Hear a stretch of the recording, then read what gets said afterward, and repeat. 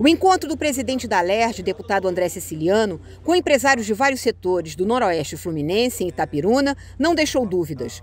Os principais gargalos econômicos da região só serão resolvidos com a implantação da rede de distribuição de gás e estabilidade e aumento do fornecimento de energia.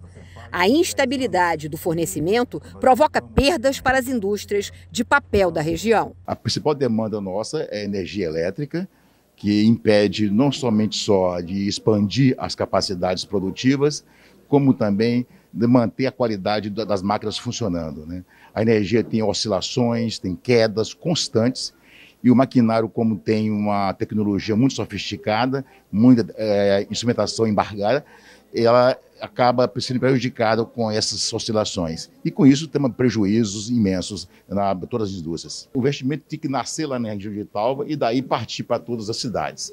Na direção a cidadão de Pádua, são 10 milhões de reais. Eu creio que mais uns 20 e poucos milhões, no total de 35 a 40 milhões, faz o investimento aqui na região noroeste como um todo. O mesmo acontece com os frigoríficos.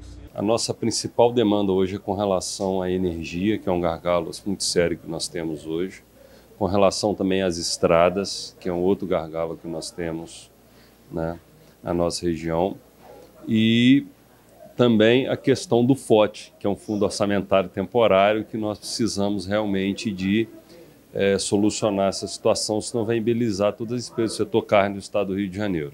Por quê? Como? Por que, que vai inviabilizar?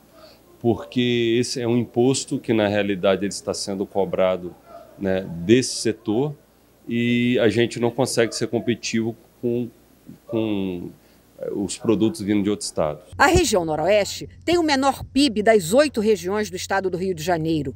Para o secretário de governo da Prefeitura de Itaperuna, a redução do ICMS sobre alguns produtos também pode ajudar. É muito importante porque o agronegócio hoje é o, é o agronegócio, é onde o homem do campo sofre muito.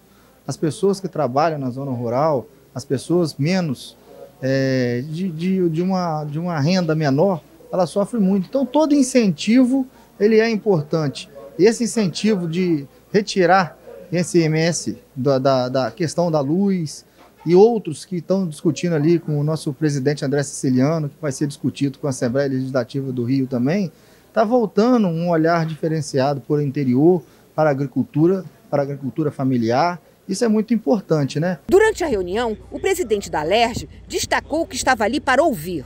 O prefeito de Itaperuna aplaudiu a iniciativa. Eu entendo que vai resgatar o Noroeste, vai dar oportunidade ao, à indústria, ao comércio e vai ser um Noroeste diferente. Hoje o Noroeste só chega à sombra. O sol às vezes brilha em algum lugar, e aqui só sombra chega, e tem vezes que não chega nem a sombra, porque realmente vocês poderam ver aí coisas primárias que tem necessidade e agora, com a vinda do nosso presidente aqui, André Siciliano, resgatou algo diferente para nós, deu a oportunidade do povo falar direto com o presidente da Assembleia e essas coisas vai ter êxito para Itaperuna, para a região. E temos que trabalhar para a região, não só para Itaperuna, mas a região noroeste, porque ela está ligada a três estados: Estado do Rio, Estado de Minas Gerais e Estado do Espírito Santo. E lá é tudo diferente, por que, que o Estado do Rio não tem que mudar? Então é oportunidade de mudança, de inovação para o nosso município, para a nossa região. O encontro faz parte dos debates que a LERJ promove em todo o estado sobre o Fundo Soberano, uma poupança pública que estabelece uma reserva com excedentes de arrecadação dos royalties do petróleo. Esses recursos serão utilizados em obras de infraestrutura. Para o presidente da Federação de Agricultura, um momento importante para a região. Eu creio que, mais do que fundo soberano, mais de qualquer outro recurso material, o que nós estamos fazendo aqui hoje é investir na democracia brasileira, é investir na mobilização do empresariado e do povo fluminense para que nós tenhamos um novo período de desenvolvimento, de justiça social e de esperança para o nosso povo no estado do Rio de Janeiro.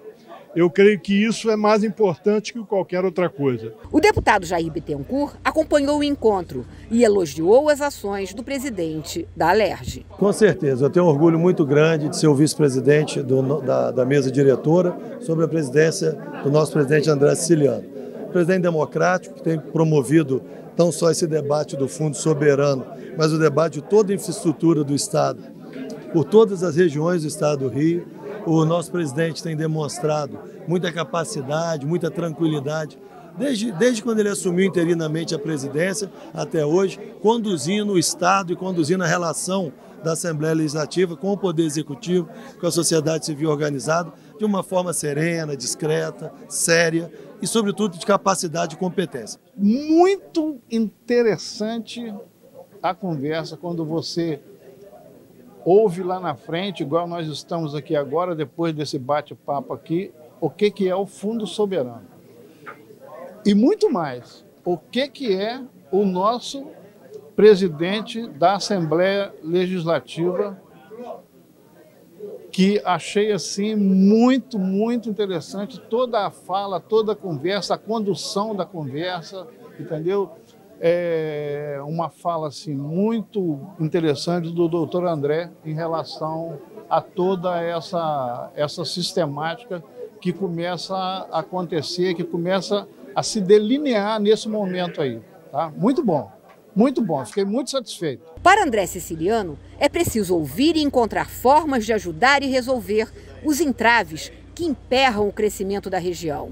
No caso da energia, só falta boa vontade e articulação. Uma coisa que me espantou muito que é a reclamação número um, energia, energia, energia. A tensão que cai, a conta que não é certo, a, a máquina que não pode produzir aquela capacidade por conta da falta da atenção da energia. Então, estou muito, fiquei muito impactado com a questão da energia. Já liguei para o CEO da, da Enel, vamos fazer essa próxima semana uma reunião. Mas, mais que tudo, ouvir, ouvir e ouvir. Às vezes o Estado abre mão de um bi, dois, três bis. Na verdade, presidente, o Estado abre mão anualmente, está no nosso orçamento, 9 bilhões de reais de incentivo. E aí uma reclamação de uma região inteira, 10 milhões para resolver uma questão de linha, talvez mais 30 para resolver uma subestação. Mas é isso, é ouvir, estar presente.